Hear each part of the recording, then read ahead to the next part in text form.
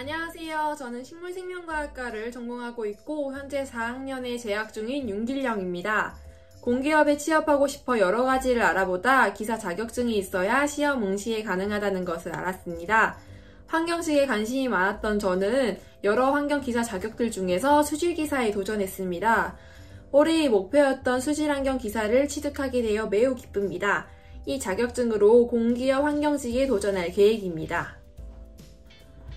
저는 환경공학 전공이 아니라서 일단 자격증을 준비하기에는 막막했는데요. 하지만 현재 공기업의 관문이 기사 자격증이기도 하고 이 자격증을 가진다면 여러 취직에 도움이 될 것 같아 도전하게 되었습니다. 또한 제가 환경이라는 분야에 대해 공부하고 싶었는데 이 기회에 더 깊게 공부하여 지식을 쌓아 전문성을 높이고 싶었습니다. 제가 전공인이 아니라서 기초에 대한 막연한 두려움이 있었는데 이 부분은 고경미 교수님께서 자세히 설명해 주셔서 잘 이해하고 공부를 진행할 수 있었습니다. 또 반복적으로 이 기초 부분을 말씀해 주셔서 도움이 되었습니다.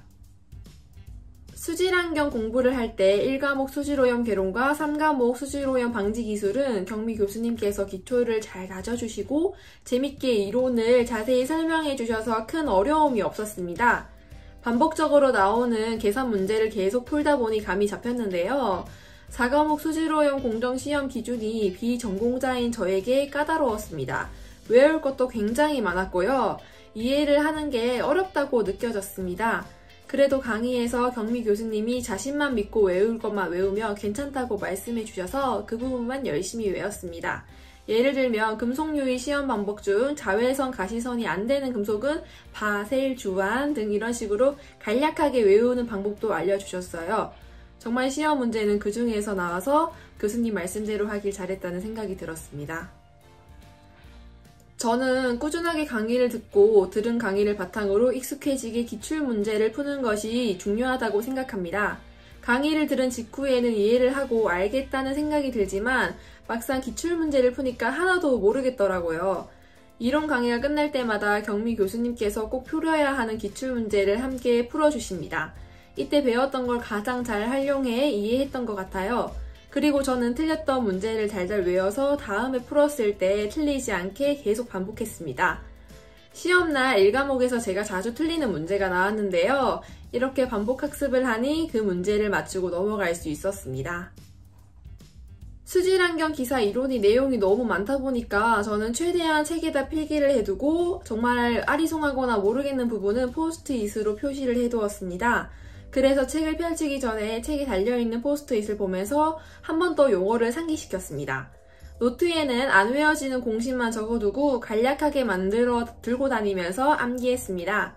필기 시험을 준비하는 일주일 전에는 기출문제를 풀고 틀린 문제를 잘라 노트에다가 전부 붙였습니다. 다시는 틀리기, 틀리지 않겠다라는 다짐을 하고 그 문제를 계속 봤던 것 같아요. 이렇게 해서 고득점으로 여유롭게 합격할 수 있었던 것 같습니다.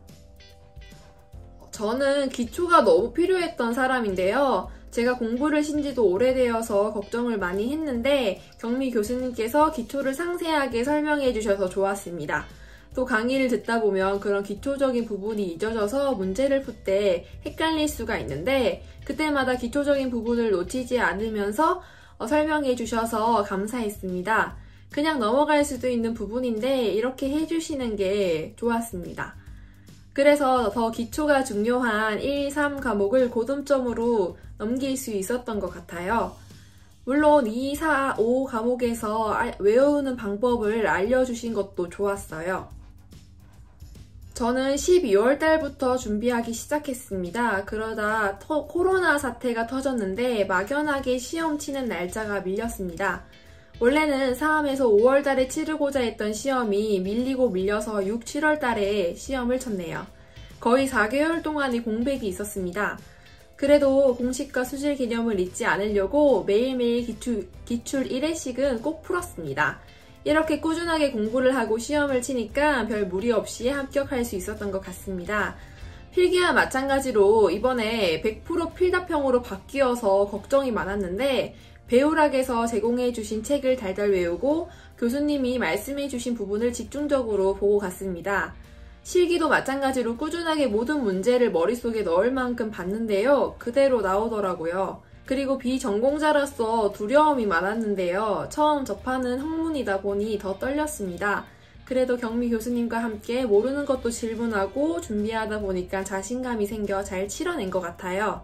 저는 배우락에서 다진 수질 개념으로 공기업을 준비해 나갈 생각입니다.